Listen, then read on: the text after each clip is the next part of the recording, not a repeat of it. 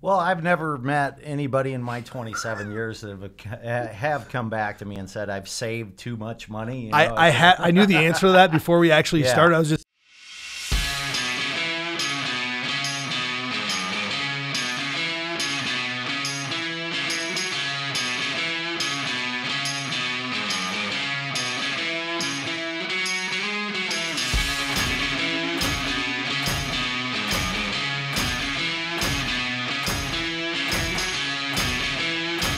Welcome back to Behind the Wealth. This is Roger Abel. I'm here with Jonas Everett today, and uh, we're going to talk about a topic that seems to be gaining a lot of traction. I hear a lot of stuff stuff about it, and I think we really want to explain what that is today. And it's this idea of a tax-free retirement. Um, and I see it on Facebook and social media, and and I think for people they're probably wondering how do I go about creating a tax-free retirement for myself. So today that's what the show's about, um, and we're just going to kind of get into it and, and talk about how this works. And the idea of creating a tax-free retirement is really getting our money um, into a bucket that we never pay tax on again, right, Jonas? Yeah, now you you talk about you talk to people about uh, that uh, you don't want taxes to be the only issue that they uh, uh, look at uh, when it comes to getting into their money, but uh, it is a big issue for people, and a lot of new people and a lot of people that I talk to get hung up on the fact that. They don't want to get into their money because they're going to have to pay taxes. This is a way for them to enjoy their money, and that's the purpose of investing. Is really money in now for money out later. If we can ease the money out later part for people, uh, that's what a tax free retirement is all about.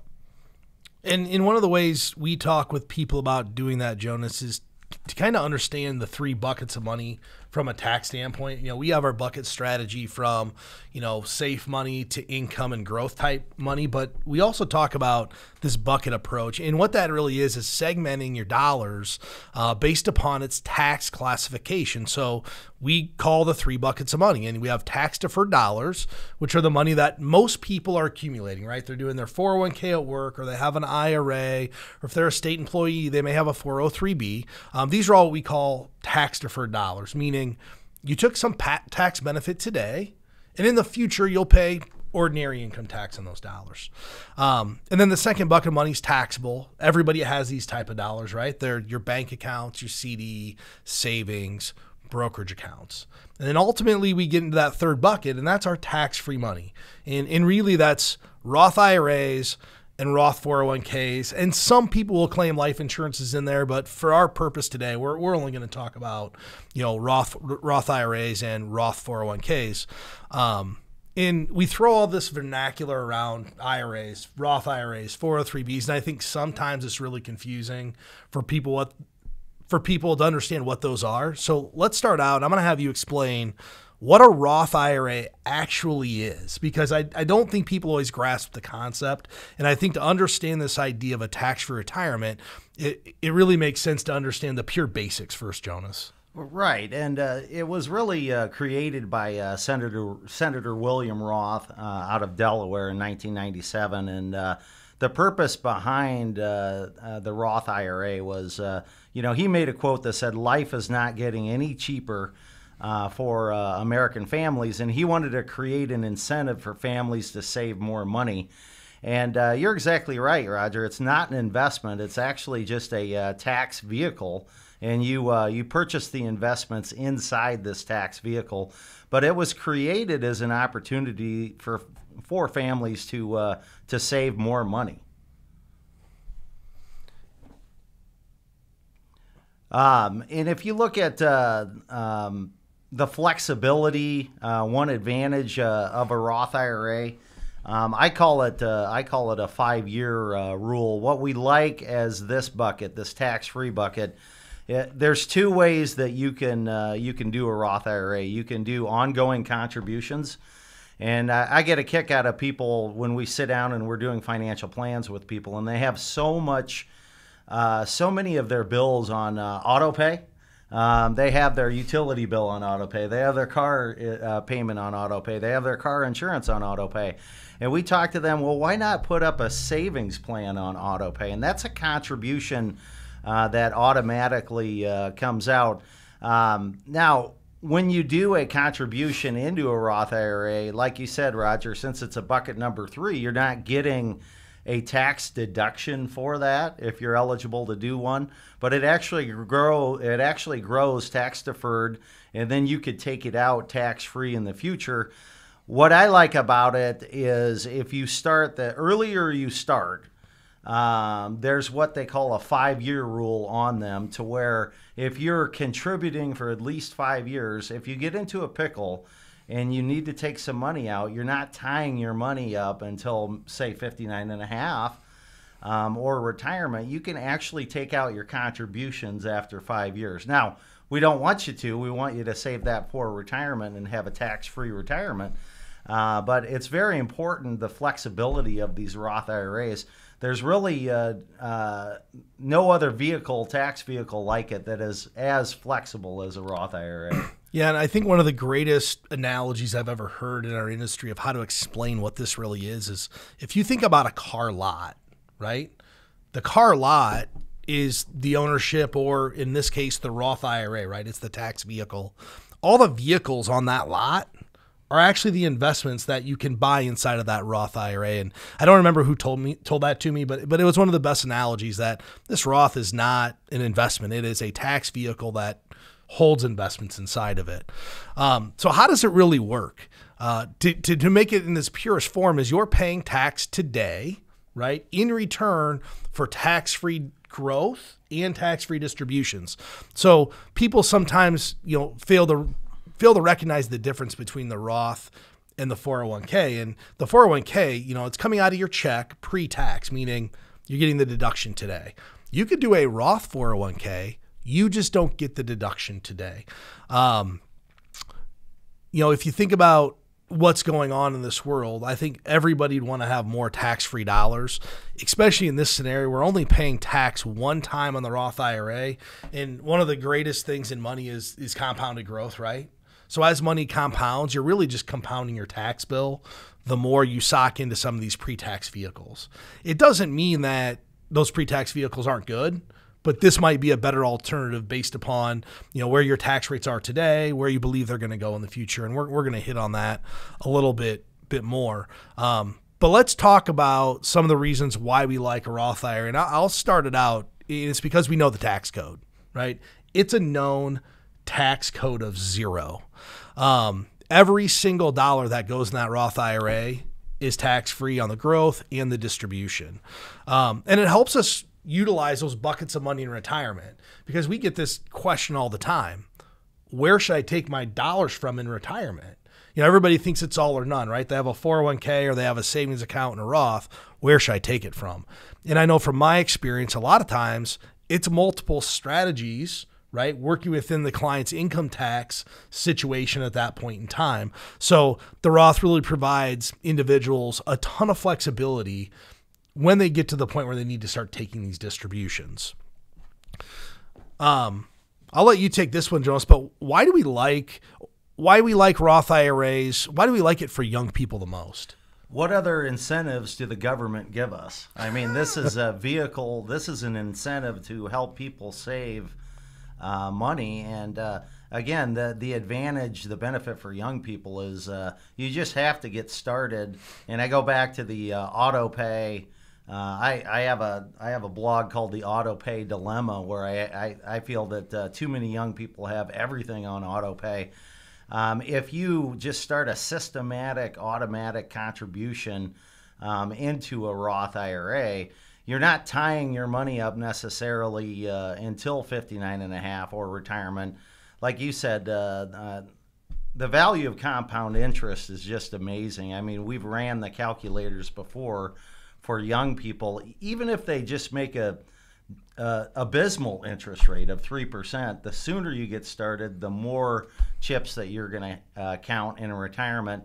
If those are tax free chips that you can take out uh, in retirement, um, then that's going to be one pile of money that uh, that uh, you may be able to uh, enjoy later on. So the, again, the benefits for young people is you have to get started early, and there's going to be more there the earlier you get started because of the uh, the compound interest and the tax free uh, growth. Um, I'll let you hit on uh, some what what the wealthy uh, people benefit uh, is on this, Roger, because I know that you're uh, you're pretty fired up about it. Yeah. So so the second demographic of people next to young people because of their, their time horizon is wealthy people, right? Um, wealthy people inherently may never spend all the dollars that they accumulate in a 401k plan or an IRA. And, and it brings on the next issue, and that's the transfer of wealth, right? So if you know you have a 401k that you never really plan on spending, um, getting this into some kind of a tax-free environment like a Roth really makes sense for a couple of reasons.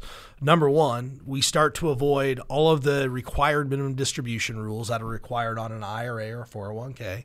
Um, and number two, when it transfers to the next generation, it still transfers tax free in this Roth or tax free environment where that, that may not happen in an IRA. In fact, it doesn't. Um, so, so it also becomes a very valuable estate planning tool as we start to think about the next generation. How do we, you know, pass as much money to our heirs in concert with our values versus that of the IRS or or the other people that are going to try to get their money or their hands on on the money that you're going to transfer. So, you know, who this works best for, young people, wealthy people. If you're age 50, I don't know. We'd have to run an analysis for you. It just depends on where you are at in life, but I don't think any of us really think that tax rates are probably going up or down in the future. And we'd all agree they're probably going up.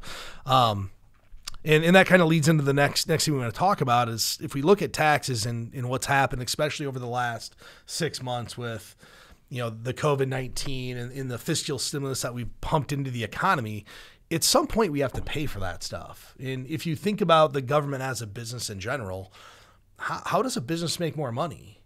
They have to work harder or make more sales, right? Well, the government, the way that they do that, it's directly out of your checkbook. So if you think tax rates are going to be going up in the future, which we do, and I'm, I'm looking at a chart right here that goes back and shows the highest top tax bracket ever in our history was in 1942, and the top marginal tax bracket was 94%. I mean, I don't think most people realize that, but if you were in the top uh, percentage of wage earners, it means for every dollar you made, you took home a whopping six cents there's not a whole lot of incentive to work in that environment. And if you think about some of the, the, the ideas or bills that are going to potentially be floated out there um, next year, they all are going after higher net worth people to raise raise taxes, and we're going to have to pay for it somehow. But getting into a known tax bracket today really you know puts you in a different situation when it comes to retirement planning because if you think about when we do financial plans we're assuming a tax rate right so hey, this is your probability of success assuming this tax rate. Well, what happens if that tax rate changes? It's a lot easier to provide for your retirement security if we know what it's going to be. It's not arbitrary, right? There's two things about a financial plan we don't know when you're going to die and what the tax rates are going to be. So if we could eliminate one variable and get you to a zero tax bracket, it's just going to make all those things much more accurate. You know, I think Roger, this really hits to the heartstrings of uh, advisors that that have been around for a while, like I have. Uh, uh, doing this 27 years, I've worked with uh, with couples and families that have done such a good job saving money uh, pre-tax in their 401ks. And uh, the bad part about being an advisor for a long time is you have to settle estates each year. And I always have I always have the one couple that unfortunately they will they will uh, yeah, they'll pass away which is which is hard enough. But you see their beneficiaries come in and uh, we go over these tax strategies with them. And uh, it seems like over half of the time they end up cashing everything out. And i had that situation happen uh, last year with me. And it was really uh, it was really uh, kind of a, a crime because all they're doing is paying the government a bunch of money. Um, and uh, they they really they're, they're taking their parents' life work of saving, and uh, they're they're really cashing everything in right away, and uh, and every beneficiary is going to be different. But if you can set up your financial plan uh, to where um, the government's going to get the government's always going to get their money, but get as little as possible um, as far as the taxes. You know, I think that my uh, my last couple that passed on last year, um, they would have felt a lot better about uh, that uh, if they had some tax-free dollars to pass on to their beneficiaries. Uh, versus uh, the beneficiaries just coming in and getting in a big hurry and just cashing everything out, and and then you're talking about um, almost half of their uh, savings going going to taxes at that point. Yeah, and you know, so we've kind of talked about why we would do a Roth IRA, why we would try to build this tax for retirement. But let's actually talk about some of the strategies that you can utilize or a listener can utilize today to start building this tax for your retirement. And I'm going to let you hit on the first one because you've already talked about it.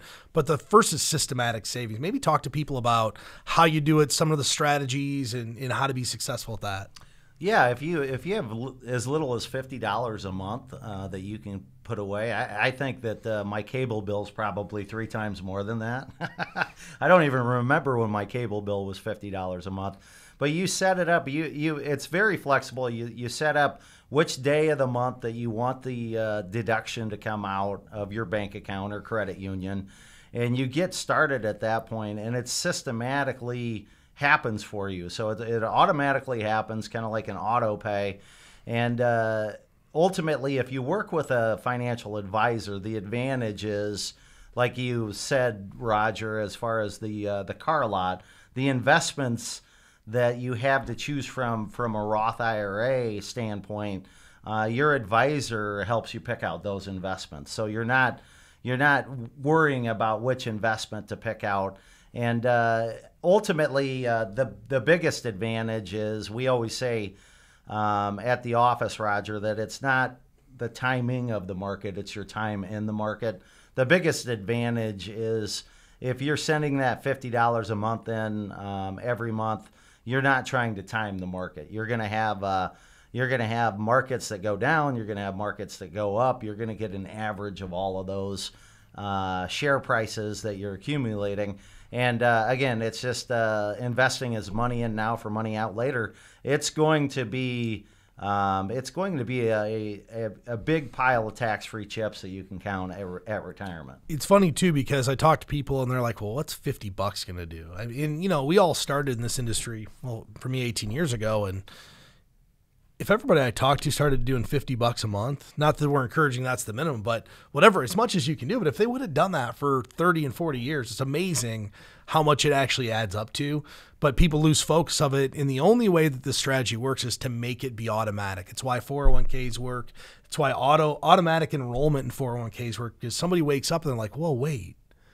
I saved all that money over 40 years, but they never could have saved it if they had to write the big chunks of checks you know, every single six months or once a year. They have to do it bi-weekly or weekly out of your paycheck. So this is one of the easiest strategies to start. It's for anybody basically who fits within the income limits of doing this. Um, and the, the second way is to actually use your employer sponsored Roth 401k, which is fairly new. Um, I mean, it's been around for a number of years, but it's becoming much more mainstream today. I would say 10 years ago, a few employers had it today. Most employers have it. Um, and the advantage of this is you do it right through your payroll deduct versus it coming out of your bank account, which you would do with a financial advisor or a um, third party type situation. Um, but the Roth 401k works just like a traditional 401k. Only difference you're going to pay that tax today and not pay any in the future. You typically have the same investment options as you have in your employer plan. Um, it's subject to the same contribution rules that you can do in your employer 401k. What a lot of people get mixed up on here is they think it's mutually exclusive, meaning, well, if I do my Roth IRA, I can't do my Roth 401k, and that's actually not true. As long as you meet the income limitations for a Roth IRA, you can put the maximum contribution into both. Okay. Um, one of the places that the Roth 401k really fits is highly compensated individuals, right? If you're a highly compensated individual, you probably don't qualify from an income standpoint, which we're going to talk about those incomes in a little bit. From an income standpoint, to actually contribute to a Roth IRA, they start to phase out at $196,000 of income. So all of a sudden, for that highly compensated person, here's another avenue for them to go start to build their tax free retirement, um, even though they don't fit the the so called income limitations on a traditional um, Roth IRA. Uh, one other thing to note: as you put this money into your your employer plan, the employer contributions are still pre-tax. So you're not going to be 100% tax free on this, but all the dollars you put in are are going to be tax free. Um, one of the questions we get asked a lot, Jonas, is what if I'm already maxing out my Roth contributions? Can I have too much tax free money? What do you think about that? Well, I've never met anybody in my 27 years that have, have come back to me and said I've saved too much money. You know, I I, had I knew the answer to that before we actually yeah. started. I was just seeing if I got the same answer. Um, but you know, one of the things I always talk about people is we the tax code now, and this is all a tax play, right, Jonas? This is about providing certainty to the people that we work with. So so in the future they say, hey, I know what my tax code is. It's zero. And I get it. No one wants to pay taxes today, but I think if most people would take a look at what their effect, effective tax rate is, right? So that's actually taking the dollars you paid divided by the income you earned. They'd all be very surprised at how low that percentage really is. Don't you agree with that? Oh, absolutely. And uh, we talk about enjoying this money at some point uh, in the future. And uh, uh, would you agree that people have a bizarre relationship with money a lot of the times? And when it comes to their uh, taking uh, money out, uh, when you when you look at people that do such a good job saving money, it's very difficult to convince them that it's okay to start spending some of this money in the future for a majority of them because they've been so good at saving. This is just one uh, way that uh, we can make spending the money less painful for people. We can we can say go ahead. Uh, maybe not this year because a lot of people aren't uh, you know a lot of people aren't traveling uh, yet. But uh, go ahead and take some of this tax-free money out and take all the kids and grandkids on a big trip. You deserve it, and that and, and so we're not letting the fact that somebody has to pay taxes um, to enjoy their money get in the way. This is actually tax free, so they can go ahead and do it. Well, it's it's an interesting point you bring up because we see it all the time. We call them financial hoarders. They just won't spend this money, and it, it's twofold, right? It's one, they're so used to saving they just feel guilty for spending it, but two, the double whammy is they know they have to pay taxes on it. So they don't even feel like they're getting all the money out, right? Oh, I need ten thousand dollars, but I'm only going to get seventy five hundred. Maybe I don't want it. They see the twenty five hundred as an expense, right? Not the tax that they deferred. So you know, by having the tax free retirement, people are so much more likely to utilize the dollars that they've saved. I mean, we talk about dividends a lot, and if you have a dividend investment, one's tax free and one's taxable, which one's someone more likely to spend? You send them out a tax free dividend, they feel good about that. They send them a taxable dividend, they sit back and reinvest it because they don't want to spend the money. They don't feel like they're spending it, even though they're going to pay tax on that dividend when the tax time comes. But I, I think that's it's really good. And one of the things too, um, and people ask, should I do this? Well, there's an easy way to quantify this stuff, right? And it's one of our core philosophies here, and it's creating a financial plan and quantifying what actually is more successful for me in the future. Okay. So, Jonas, now let's talk about Roth conversions, kind of the third key thing here um, about how to take advantage of a tax free retirement and talk a little bit about why we would do a tax free retirement, what the advantages are. Um, I'm going to let you kind of run with this one. You, talk about this a lot with people. Yeah, we're pretty fired up about it, especially this year when you have uh, you're able to skip your required minimum distributions if you're over the age of uh, 70 and a half uh, this year. One advantage uh, is that you don't have to worry about the taxes anymore. Uh, when you look at uh, converting, that's just a fancy term from taking pre tax money over to a tax free bucket. And uh, you can actually pick the amount, but if you look at the 401k sizes that we're seeing today, um, I would say on average, um, people in the Midwest are doing a good job saving money in their 401k doing a fantastic job. You look at the average 401k size is about 850,000 uh, dollars that we're trying to help uh, pre-retirees and retirees uh, manage. Well, if uh, picture yourself at age 72, Roger, and in a normal year, you would have had to take out your what they call your required minimum distribution on that 850,000 you would have have and you would have had to take out somewhere around forty thousand dollars and pay the taxes on forty thousand dollars whether you needed the money or not. Now, picture yourself back at age 60, either retired or pre retired. If you did some planning now and started to convert some of your 401k monies to Roth, and then 10 years goes by pretty fast. Uh, we've known each other 18. yeah, 18. so that uh, seems like yesterday. Um, then you wouldn't be forced to take out your distributions any longer, at least if you had a portion of your money in tax-free retirement in, in Roth IRAs, and that's the that's the the big advantage uh, that I see with the Roth IRAs in retirement.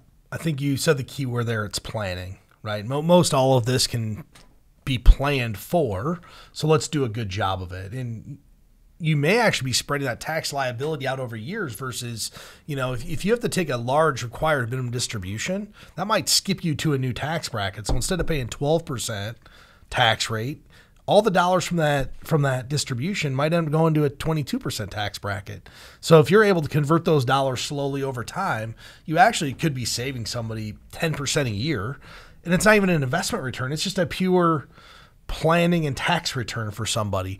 Um, and also, you know, some of the other reasons to do this is we have the known tax code. We've hit on that a bunch of times, but today we're actually in a very favorable tax environment with all the the Tax and Jobs Act that was passed, um, and there's no guarantee on how much longer that's going to stay around. But for most people, it doubled their exemption um, and really helped them out from a tax standpoint. And I'm running into individuals who they're basically paying no income taxes and they have large IRAs and we're working with their CPAs in concert to do this the right way to make sure they're getting as many dollars out of here as they possibly can into a tax-free environment now versus waiting to see what happens in the future. Um, any financial advisor, tax pro, really should be able to help somebody quantify the decision as to whether the Roth IRA is a right um, right fit for you. In fact, if you go to our website, um, which we'll, we'll give you out at the end of this, uh, we have a calculator on there. You can go sign up and we can run you a quick analysis of whether this is actually something that will work for you. Um, and it'll show you what the long term break even is. We can assume different tax rates. There's all kinds of different assumptions we can do. So it's kind of an interactive tool that I do with my individual clients before we make the decision to do this, just so they know the pros and cons of both sides. Okay. Um, uh, and really, all we're doing when we do the Roth conversion is reclassifying. So taking the IRA or 401k and turning it to a Roth. And all that means is you're going to get a tax bill for all all all intents and purposes. And the cool thing is you really have a couple ways. You can either pay the taxes yourself or you can withhold the taxes from the investments. Now, I choose to not withhold the taxes from the investments if we can avoid it because I don't want to kill the growth of the account, right? Uh, but there's flexibility on that, and, and really any competent professional should be able to help somebody um, do a Roth conversion in the right manner. Um, I don't think the strategy is necessarily for everybody, right? But it is for the people we hit on earlier young people with tons of time to grow and wealthy people um, who are going to have a tax bill at some point in the future on that IRA and it's unknown. Um, especially if that person has the ability to pay those tax dollars now, right? Because that's a key. Because if you take hundred thousand dollars and you take twenty five thousand out for taxes, well, you just kind of, as you would allude to, you killed your golden goose, right? Right. Um, so you know, th- if you have the tax dollars, it's way more way more beneficial for most people. Um, you know, we talked about this earlier, and there are limitations on who can do a Roth IRA. And, and, the best thing to do is just go consult a tax professional. But for all intents and purposes, if you make more than $196,000 as a couple, you're probably not eligible for a Roth IRA. You would be eligible for the Roth 401k. Okay.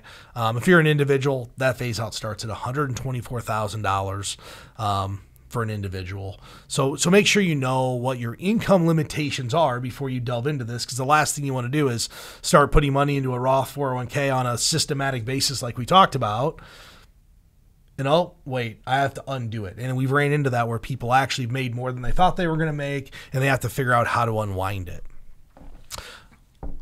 The last strategy we want to talk about people with, and this is just for really one segment. This is for the people who don't qualify to do a Roth IRA, because they make too much money. They're over that $196,000 of income. They are still eligible to do a Roth IRA if they know how.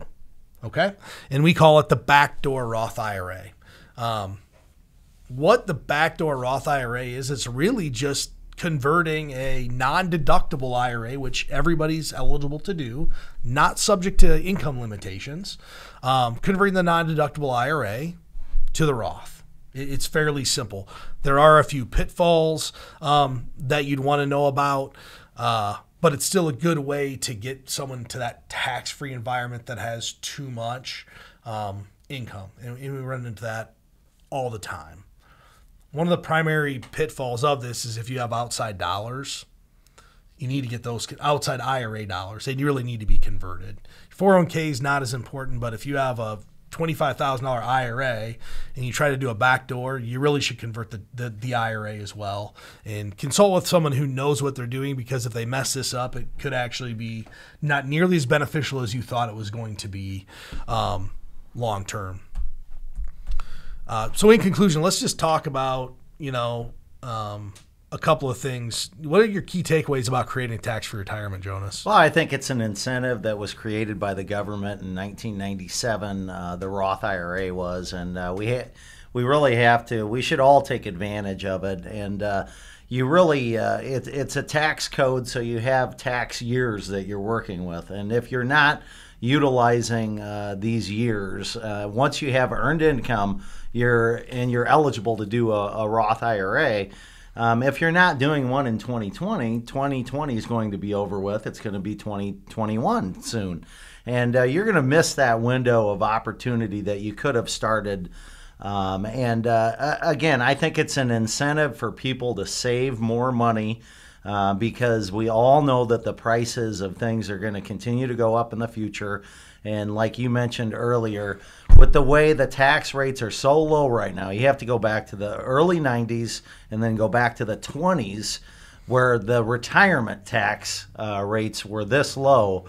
You're seeing a lot of CPAs that I talk to that love the Roth IRA uh, contribution and the conversion just for the fact that the tax rates are so low. It's a great time to do it uh, right now. And uh, I, I, just think that uh, if we can help the ease of people spending and enjoying their money in retirement, Warren Buffett said investing is money in now for money out later.